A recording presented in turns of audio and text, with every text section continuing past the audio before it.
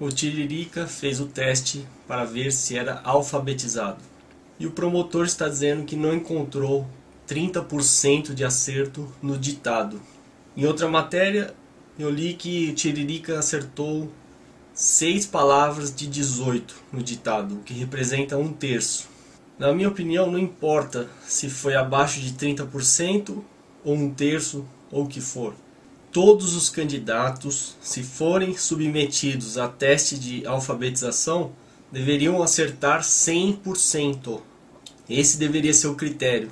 Mas como no Brasil a justiça tem um medo enorme de ir contra a suposta vontade popular, ela utiliza critérios bastante flexíveis. Por exemplo, 30% no mínimo de acerto nesse ditado e exigem pelo menos habilidade rudimentar de escrita e leitura.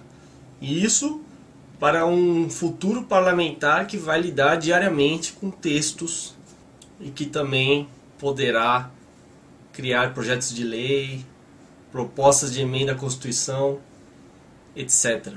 Esse teste apenas mostra a capacidade de decodificar símbolos. Ele não testa a alfabetização. Não existe compreensão do texto.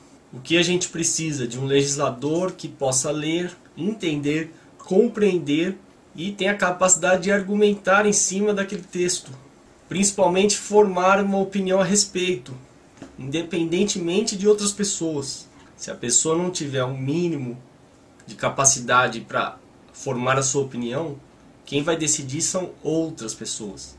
Tanto é que o Tiririca, naquela entrevista da Folha, antes das eleições, ele deixou claro que quem cuida da parte legislativa é um tal de Manieri, que ninguém sabe, ninguém viu.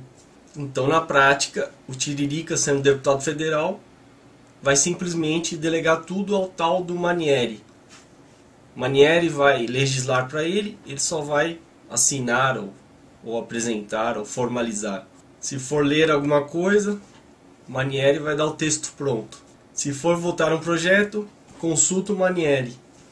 Aí eu pergunto, em quem os eleitores do Tiririca votaram? No Tiririca ou no Manieri?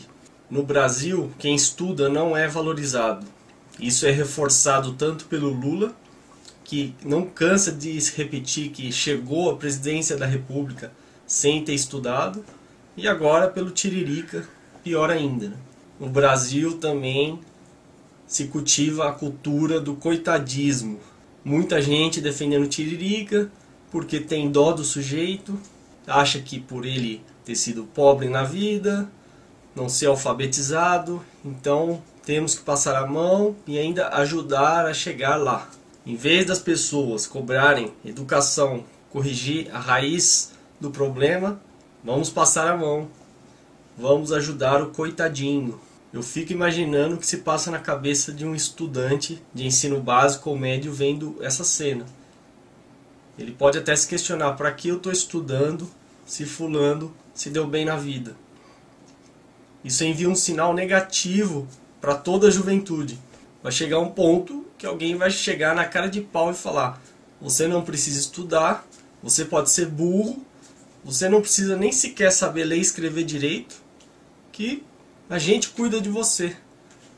E aí, resultado, você não precisa mais nem pensar. Por quê? Porque a gente pensa por você.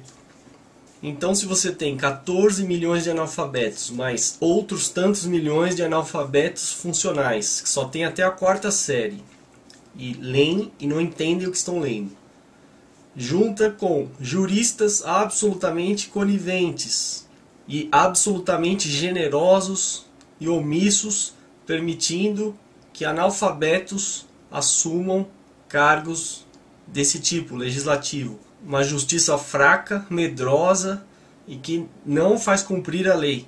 Completa isso com uma lei absurdamente permissiva e um líder extremamente populista e ignorante, resulta no Brasil. E isso não é um sonho, isso é realidade. Antes fosse um pesadelo, né?